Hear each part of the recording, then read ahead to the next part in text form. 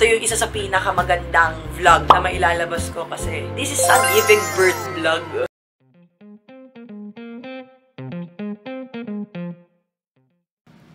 Hello, mommies! I'm Doc RB, your board-certified OBGYN perinatologist or high-risk pregnancy doctor o doktor ng mga masiselang pagbubuntis na nakabase dito sa Philippines. So for this video, we actually have a Mother's Day special. At gusto ko nga pala magpasalamat kay Doc Alvin Francisco dahil sa kanyang reaction sa vlog ni Zainab tungkol sa kanyang pagbubuntis. Kaya naman, ito ang reaction natin sa vlog ni Zainab. Bago tayo magsimula, lahat ng information na isi-share namin sa vlog na ito ay for general education purpose only at hindi mapapalitan ng check-up sa inyong mga doktor at mga espesyalista. Hindi rin pala ako ang OB ni Zainab at ibibase ko lang ang aking reaction sa vlog na shinare niya sa kanyang YouTube video. Healthy naman ako, naging masunurin naman ako sa sinasabi ng doktor. But ayun nga, nag-end up ako sa pagiging cesarean. I did my very, very best para nga ma-experience ko yung pagiging normal. Paano yung normal na pag-ire, yung mga pag-labor. So sa clip ng video na ito, mukhang emergency CS ang gagawin kay Zainab. Ito ang una niyang pagbubuntis at ang tawag ng mga OBGYN dito base sa kanyang OB score, siya ay gravida 1 or unang pagbubuntis. So na-mention ni Zainab na ang gusto niya talagang ma-experience sa kanyang pregnancy at pagde-deliver, syempre yung mag-labor, yung umire, 'di ba? Ang goal naman talaga sa mga unang nagbubuntis ay manganak sila ng normal unless masasesaryan sila dahil may mga indications. Sugar ko, may problema ako sa sugar. Tapos, last week, nagpa-check up ako, nasa 10 pa yung tubig ko. Tapos, pagbalik ko the next week, sinabihan ako ng doktor na halos na ubos na yung tubig ko. Which is naging 6.2 na lang. So, halos kalahati yung natira. And sabi nila, magiging critical yung condition ni Bia and ako pag nag-5 siya. Kasi 5 daw po yung critical condition, sabi ng doktor. Sa clip na ito ay na-mention niya ang mga dahilan kung bakit siya na cesarean. So yung unang sinabi niya is kumukonti na yung panubigan niya na kung saan na-mention a week before na ito ay 10 centimeters hanggang naging 6 centimeters or 6.2 centimeters, no? Tapos kapag umabot na daw ng 5 centimeters, konti na talaga yung panubigan niya. Ngayon, sa mga sonologist, o kaya yung mga perinatologists, we actually do ultrasound. Meron kaming dalawang technique na ginagawa para ma-measure yung amniotic fluid index or yung panubigan sa loob ng matres ni mommy. So we have the single vertical pocket or the deepest vertical pocket at saka yung four quadrant technique. Mukhang sa kanya ang ginamit yung four quadrant technique. So kung ito nga talaga yung ginamit, yung 6.2 centimeters is actually malapit na talaga dun sa level ng oligohydramnios which is less than 5 centimeters. Maraming dahilan kung bakit ang isang nagbubuntis ay nagkakaroon ng oligohydramnios. Number one, pwedeng naputukan siya ng panubigan o kaya yung tinatawag naming ruptured bag of water. May mga instances din na hindi naman talagang naputukan kung hindi tumatagas lang. O ito yung tinatawag naming leaking bag of water. Pangalawa, meron ding mga pagkakataon na ang mommy ay merong tinatawag na uteroplacental insufficiency. Ito yung hindi maganda yung daloy o yung exchange ng mga nutrients at saka ng oxygenation na nanggagaling kay mommy papunta kay baby, dumadaan kasi sila sa placenta. So dahil hindi maganda yung daloy, si baby nagiging maliit o di kaya naman nagkakaroon ng mga effects katulad ng pagkonti ng panubigan nila. Ang uteroplacental insufficiency ay may kinalaman sa mga sakit katulad ng hypertension o pagtaas ng presyon o high blood habang nagbubuntis. O di kaya naman yung mga immunologic na sakit katulad ng apas at diabetes. Nasabi rin kasi ni Zainab na medyo tumataas daw ang kanyang blood sugar. Kaya pwedeng diabetes ang isa sa mga dahilan kung bakit pwedeng magkaroon ng uteroplacental insufficiency. Number three, yung makarating ka ng kabuanan. Dahil kapag kabuanan na, pati yung placenta tumatanda. Kapag nagkaroon nito, hindi na naging effective ang role ng placenta which is magbigay ng nutrients at oxygenation kay baby sa pamamagitan ng exchange ng dugo mula kay mommy. So kapag ganon, kumukonti rin ang panubigan. Kaya pag si baby ay matagal na matagal na sa loob ng tiyan ni, ni mommy, yung mga post-term na tinatawag, no? konti na ang kanilang panubigan. So, yung tatlong kondisyon na yon, pwedeng yun yung iniisip natin kung bakit si Zainab ay kumukonti na yung tubig. Pero syempre, hindi naman natin alam yung kanyang buong medical history o kaya kung paano ang kanyang pregnancy journey. Kaya hindi natin talaga fully masasabi kung ano yung dahilan kung bakit kumukonti ang kanyang panubigan. At ang pinaka, pinaka talaga na nawindang ako, ang liit-liit lang ng tummy ko. But si Bia almost 4 kilo na po. Sinama ko yung clip na ito kasi sinabi ni Zainab na maliit yung kanyang chan. Pero si baby pala ay malaki, which is around 4 kilograms.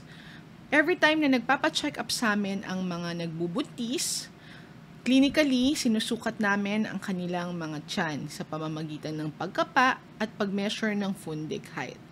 So, kung hindi kami sigurado sa sukat ni baby, nagre-request kami ng ultrasound para mas maging sigurado kami kung ano yung sukat ni baby sa loob dahil mas accurate ang ultrasound.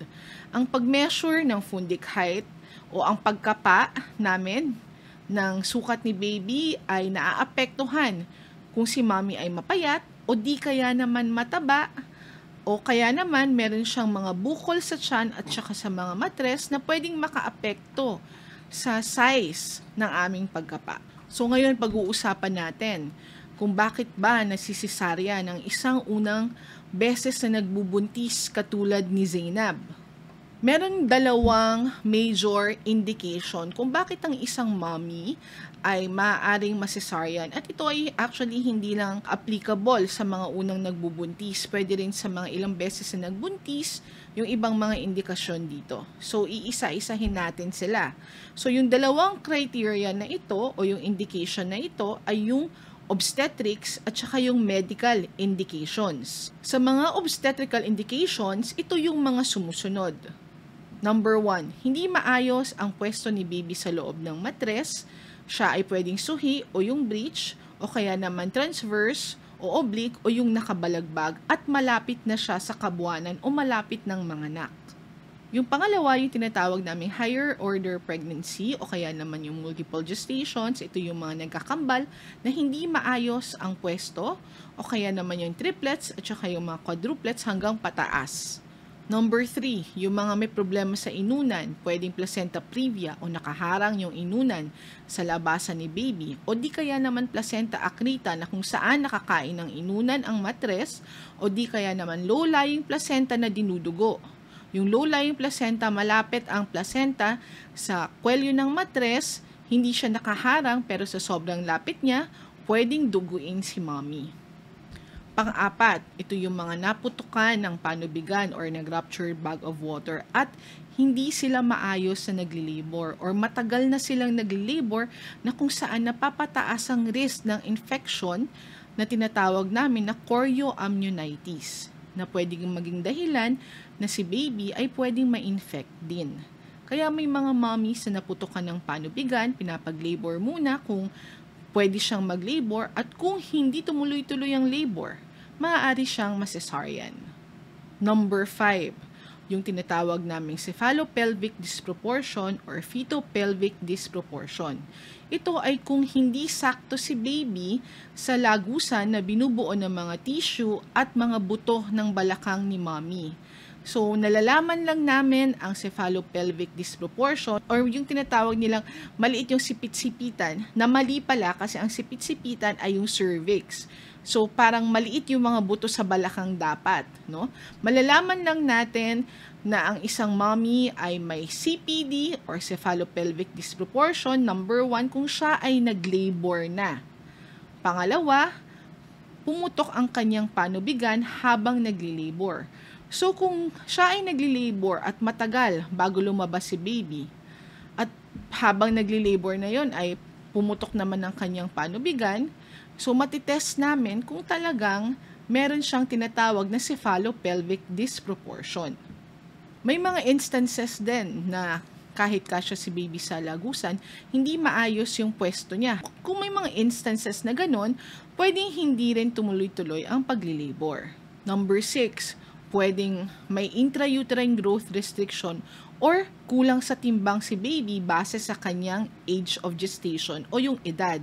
At ito ay pwedeng maging secondary or dahilan or epekto ng medical problems ni mommy katulad ng hypertension o di kaya naman diabetes o di kaya naman apas.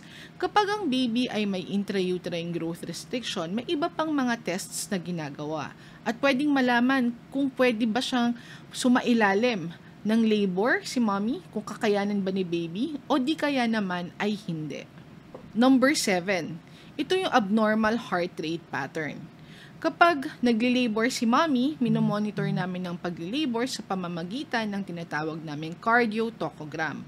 So, base sa reading ng cardiotocogram na yon na parang ECG, malalaman namin kung matotolerate ni baby ang pagli-labor o yung paghilab ng tiyan ni mommy or hindi. So kung bumabagsak ang heartbeat niya at malayo pa bago siya manganak, at yung pattern ay hindi maganda, halimbawa yung konti yung variability, no? So may mga instances na kapag hindi talaga naaayos yung mga yon, pwedeng masesaryan ang mga nanay.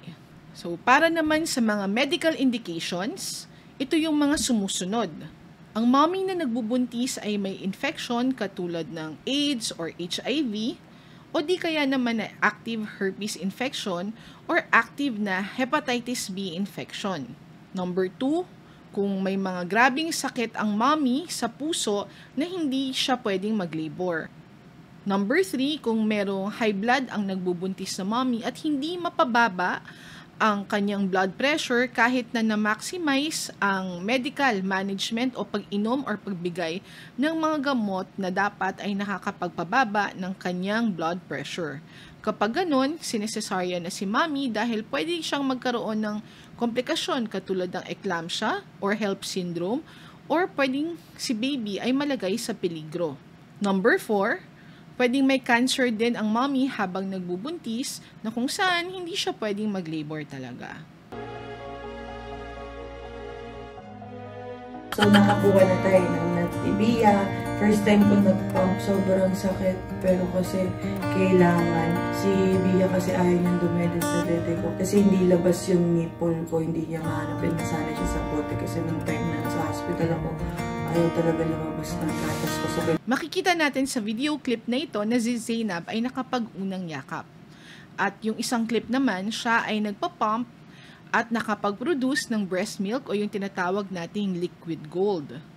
Nasabi din niya na inverted ang kanyang nipple kaya siya ay nahirapan na magpadede or mag-breastfeed kay baby nung siya ay admitted pa sa hospital. So, mommies, hindi totoo na kapag inverted ang nipple ay hindi makakapagpa-breastfeed ang isang mommy. Meron tayong mga ways para matulungan ang mga mommies na may inverted na nipple na mag-produce ng breast milk. At i-discuss natin ito sa mga future vlogs natin. Maaari rin kayong kumonsulta sa mga lactation counselors, sa inyong mga OBGYN at pediatricians para mabigyan kayo ng tip kung paano magpasuso kahit na inverted ang inyong nipple. So, trivia lang tungkol sa breast milk. Alam nyo ba na bukod sa pagbibigay ng essential nutrients para sa needs ni baby at saka sa pag i-improve ng immune system or resistensya ni baby, ang breast milk din ay nag adapt kung ano yung mga pangangailangan niya. Halimbawa, yung mga preterm o yung mga babies na kulang sa buwan, mas tumataas ang kanilang protein component at para naman sa mga may sakit na mommies at saka si baby, tumas tumataas ang mga immune cells para bigyan ng protection si baby laban sa mga mikrobyo o kaya naman sa mga sakit. So, very important at very encouraging na mag-breastfeed ang mga mommies. Ang daming mga benefits na bibigay ang breast milk sa baby. Kaya naman, sinusulong or ina-advocate ng WHO at ng inyong mga doktor ang pagbe-breastfeed sa inyong mga babies. Ang comment ko lang sa clip na ito, mas maganda pa rin talaga na naka-direct latch si baby kay mommy or si baby ang nagsasock sa nipple ni mommy para makakuha ng breast milk because direct latching has a lot of benefits. Bukod sa naibibigay ng breast milk and stimulating more milk production nagkakaroon din ng bonding ang mommy at saka ang baby dahil kapag nakalatch si baby, mas nagre-release ng love hormone ang utak ng tao na tinatawag namin na oxytocin. So, mas nare-reinforce ang kanilang mother and baby bond kapag naka-direct latch si baby. So, I hope na itatry pa rin ni Zainab na mag-direct latch si baby para naman mas ma-maximize nila ang kanilang breastfeeding journey. Mahirap ang journey ng mga first-time moms at alam ko relate na relate ang mga followers ni Zainab sa kanyang YouTube vlog Iba-iba ang pregnancy journey at breastfeeding journey ng bawat nagbubuntis kaya naman hindi dapat natin kino-compare ang ating mga experiences sa experiences ng ibang mga mommies. Mas maganda pa rin na tulungan natin at suportahan ng isa't isa sa pamamagitan ng pag-share ng ating kaalaman o ng ating knowledge at ng ating mga experiences or karanasan. Tandaan nyo, mommies, unique ang inyong pinagdadaanan o ang inyong journey sa pagiging mommy.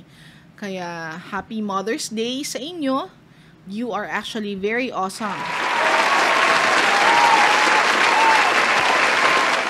Happy Mother's Day sa lahat ng mga nanay, lahat ng mga mommies, mama, single moms, working moms, mommies to be, mommies at heart, at saka sa mga fur moms. So I hope nagustuhan po ninyo ang ating Mother's Day special episode. Don't forget to like, share, and subscribe to our channel. And until the next vlog, Happy Mother's Day!